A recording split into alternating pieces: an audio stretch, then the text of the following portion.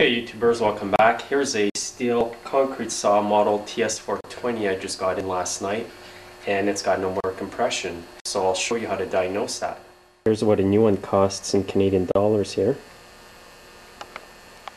So it's really easy to pull. So that's usually a sign of a blown top end, meaning the piston rings and probably the cylinder as well. Now before riding the saw off, take this little cover off here. Take the little rubber off and make sure that the decompression valve is pulled out all the way.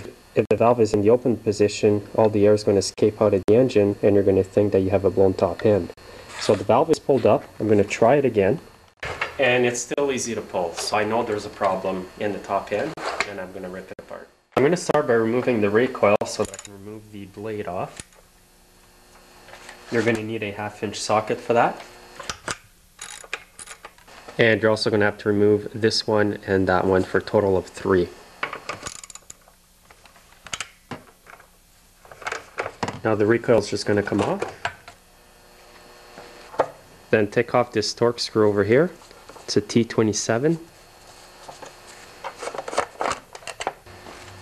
Take the hose off of here, take the cover off.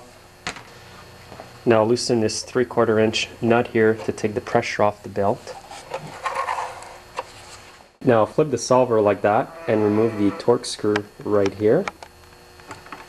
This is also a T27. I'm just taking this off to remove the water line.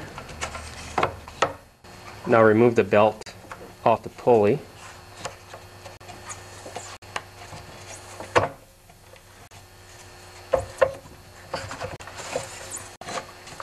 Now remove the blade and the whole assembly.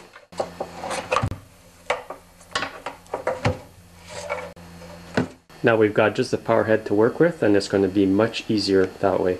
Now I'm going to take off the three bolts that hold the muffler, and there's one over here, so we can have a look at the piston and rings through the port.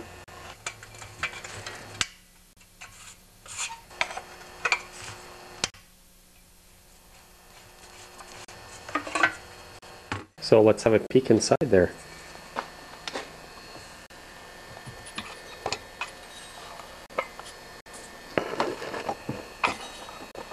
you see that the top ring is pretty loose there. And I can see little notches on the top of the piston. If you look at the left of the piston there I can see what kind of looks like little scratches.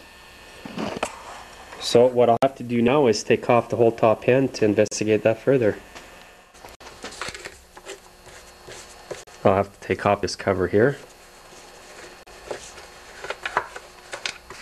At this point here you have to go down there and disconnect the throttle lever.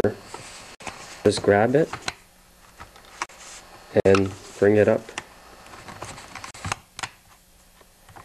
Just be careful you don't break the plastic there.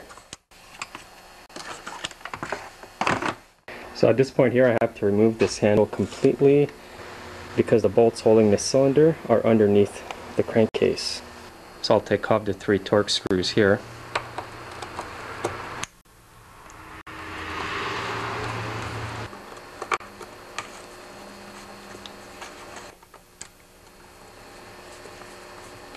Now I'll remove the two Torx screws over here.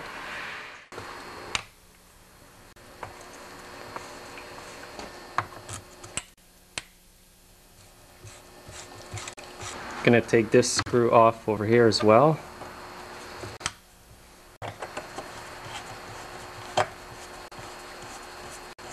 All I believe I got left is this little screw here.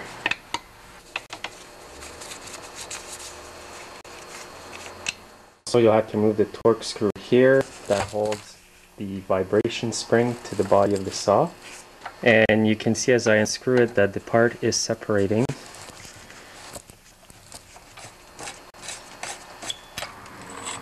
Now the whole handlebar assembly should come off.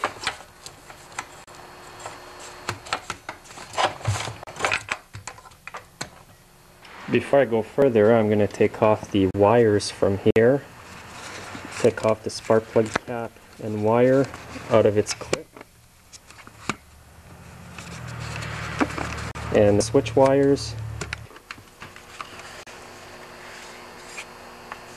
Now over here there's a Torx screw here holding the plastic cover and one down here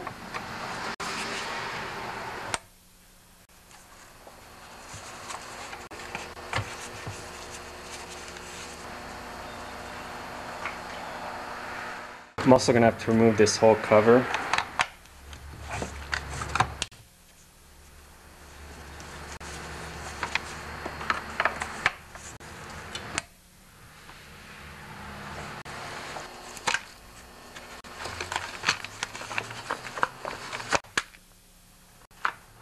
Now this cover will come off easily. Now to get the cylinder off, like I mentioned earlier, you have to go underneath the crankcase and you got to go through these four holes here with your T27 screwdriver and get all the screws out.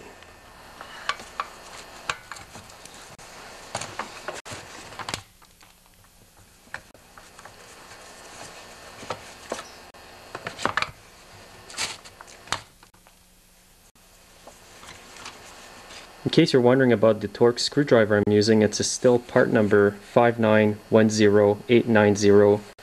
59108902400. It's actually a Stihl Torx screwdriver, number T27.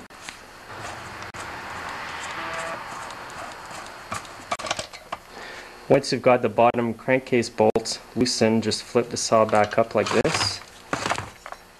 Now you'll have to remove the two little screws that hold the clamps for the intake boot to the cylinder. So one here, one down there, just a slotted screw.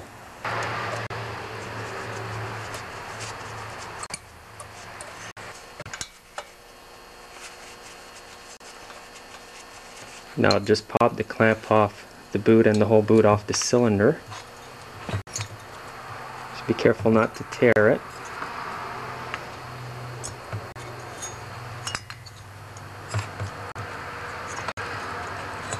Also, don't forget to remove the impulse line where the tip of my screwdriver is down here because you don't want to rip it apart when you pull the cylinder out. The way I'm going to carefully remove this is with the tip of my screwdriver and just push it back. You might want to use a dull screwdriver for that. And it's off. You can see the connector down there. Now I'm going to carefully remove the bottom part of the boot with a dull screwdriver.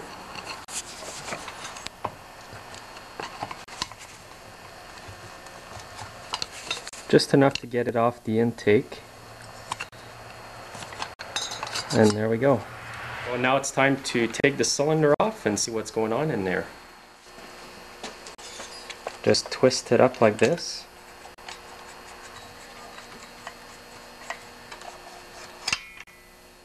Well folks, here's the damage.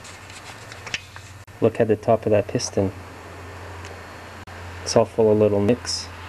Now if we move this over, we can see the real damage. There's a piece that came off the piston. Piece of ring's missing.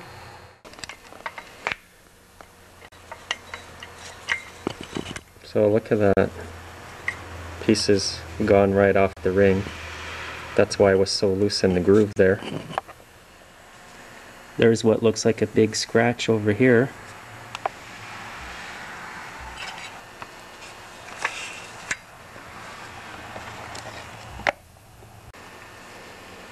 So that's finished. Let's look at the cylinder now. First glance, the cylinder didn't look too bad, but at the bottom here where my thumb is, you can see a deep scratch at the bottom. Now if I feel that with my finger, it's deep. It's too bad the scratch wasn't down here, because probably we could have salvaged the cylinder. You can see the little nicks there on top of the cylinder when the ring broke.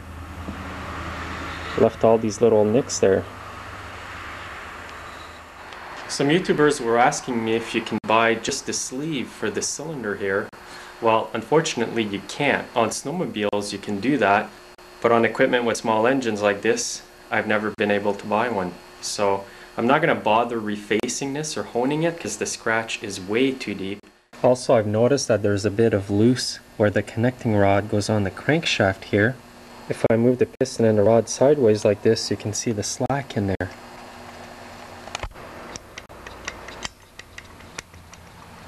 There's no slack if I try to move it up and down. but there is a bit of play even in the piston wrist pin and the little bearing on the connecting rod that holds the piston. So that's two places on the engine here that have wear and tear. And if you rebuild the engine without replacing the crankshaft and the connecting rod, the piston may tend to move from side to side and this could be exactly why that the ring broke. It'll tend to rub too hard on one side. At this point I highly doubt that the owner is going to want to rebuild this saw. Now some of you must be wondering what causes this kind of wear. Well this could be just normal wear and tear for these saws. Also if the air intake and the filters aren't cleaned regularly and replaced, a bit of dust may get in the engine and cause premature wear like that. They do work hard these saws though. The warranty in some cases is not more than 90 days on these saws. Some have a one year warranty. And I've talked to a few guys who do that kind of work and they say they don't last too long if you have to use them every day. So thanks for watching this video. We'll see you next time. Take care now.